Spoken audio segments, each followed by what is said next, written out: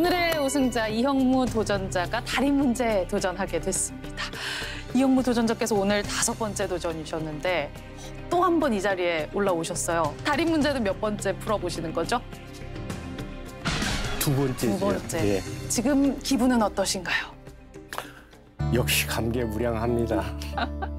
우루말 겨루기 참 좋은 거예요. 저한테는 정말 보약 같고 보약이다. 불로초, 불로초. 예. 보약. 활력소, 활력소 예. 계속 생활의 나옵니다. 기쁨. 기쁨. 예.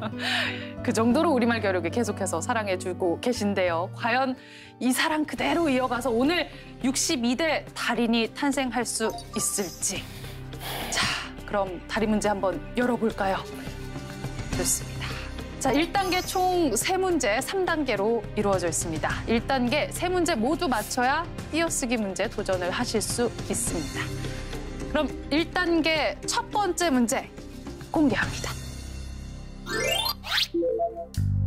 가열한 싸움, 가열찬 싸움. 10초 출발합니다.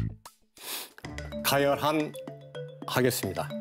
가열한 싸움, 가열한 첫 번째 보기를 선택하셨습니다. 이어서 1단계 두 번째 문제 공개합니다.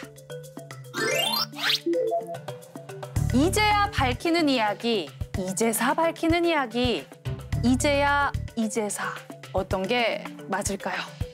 10초 출발합니다. 이제야 하겠습니다.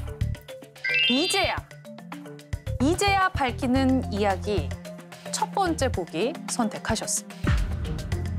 이제 1단계 마지막 문제입니다. 공개하겠습니다. 눈짠등에 멍이 들다. 눈두덩에 멍이 들다. 눈짠등 눈두덩. 10초 출발합니다. 눈 두덩 하겠습니다. 눈두덩. 눈두덩에 멍이 들다.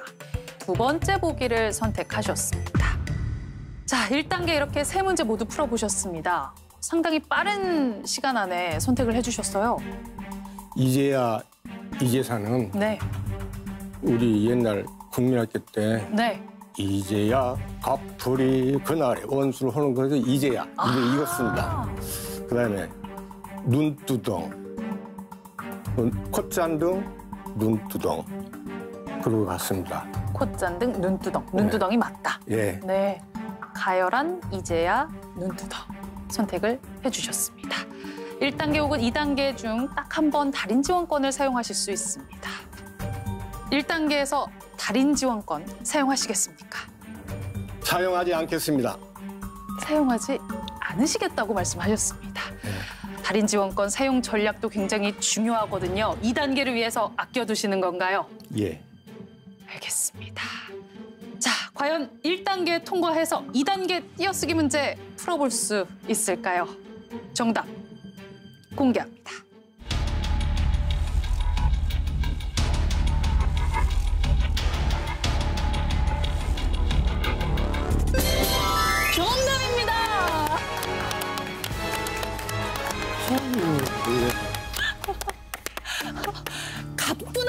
하게 통과하셨어요, 이영무 도전자. 아이고 감사합니다.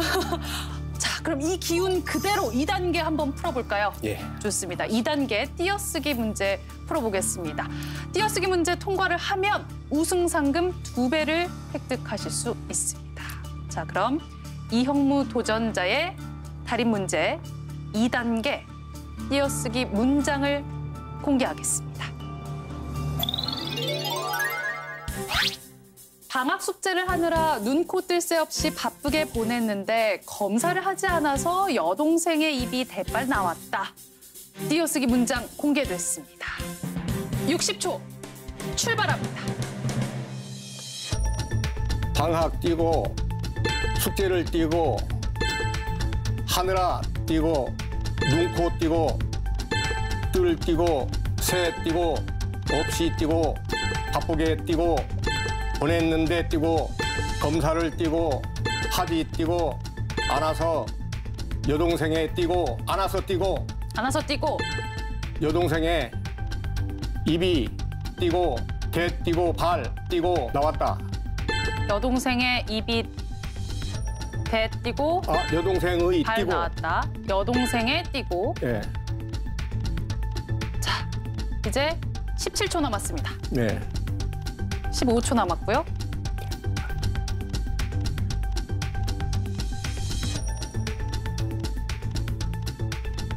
오 초 남았습니다. 방학 숙제를 붙여보겠습니다. 방학 숙제 붙이고요. 60초가 모두 흘렀습니다. 자, 마지막에 방학 숙제를 붙이셨어요.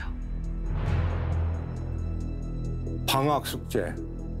가 띄어야 되겠네. 어, 처음엔 뛰셨는데 그러네. 마지막에 붙이셨어요. 음, 방학 숙제가 한 단어인지 아닌지, 아닌지.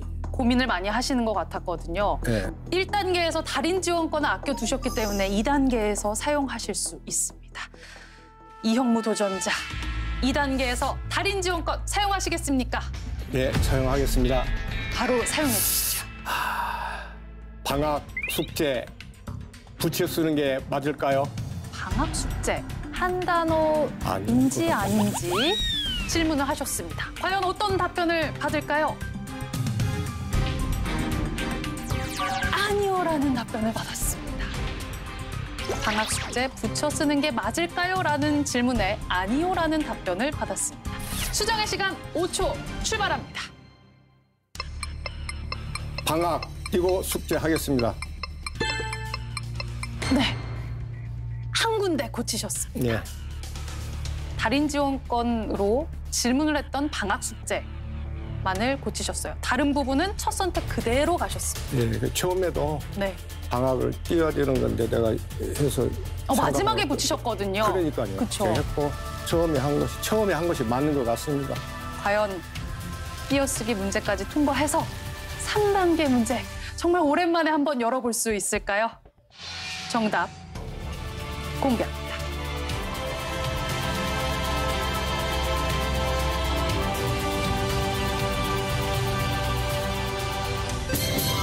정답입니다. 이 형무 도전자 2단계 띄어쓰기 문제를 통과했습니다. 아, 감사합니다. 2단계 문제, 띄어쓰기 문제를 통과하면서 이형무 도전자 이제 우승 상금 두 배를 획득하셨습니다. 달인 등극을 위해서는 딱 한 단계, 3단계 문제만을 남겨놓고 있습니다. 눈을 질끈 감으셨는데요. 이형무 도전자. 잠깐만요. 네, 저 지금 꿈속 같거든요. 잠깐만요. 꿈은 달인, 마음은 달인 그랬지만은 여기까지 올라오기까지 네. 제가 생각해도 기특했습니다. 이제 달인이 코앞으로 다가왔어요. 이형무 도전자의 달인 문제, 마지막 문제 공개하겠습니다. 놀랍다의 뜻풀이에 포함되어 있지 않는 단어는 무엇일까요? 굉장하다, 훌륭하다, 총명하다, 괴이하다, 두렵다. 간절하게 두 손을 모으셨습니다.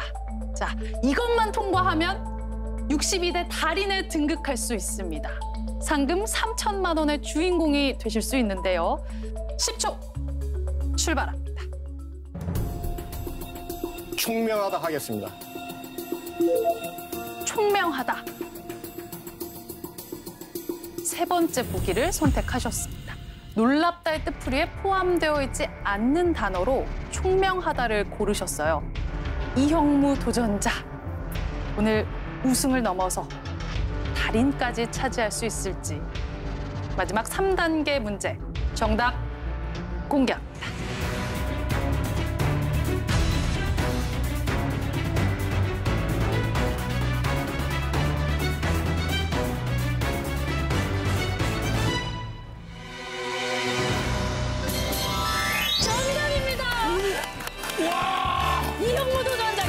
62대 달인에 등극합니다. 감사합니다.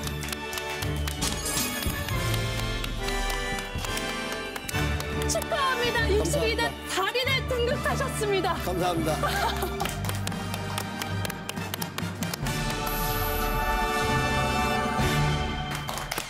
정말 놀랍습니다. 축하드려요. 감사합니다. 끝없이 도전을 하니까 되네요. 예. 다섯 번째 도전만에 달인에 등극하셨습니다. 자, 이렇게 62대 달인 탄생이라는 기쁜 소식 전해드리면서 인사드리겠습니다. 여러분, 망설이지 말고 도전하세요. 빛나는 도전 함께 하겠습니다. 그럼 저희는 다음 주 새로운 도전자와 함께 인사드리겠습니다. 여러분, 고맙습니다. 축하드려요.